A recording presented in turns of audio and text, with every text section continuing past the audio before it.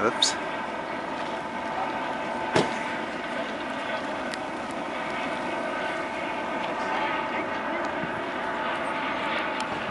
Operation is starting.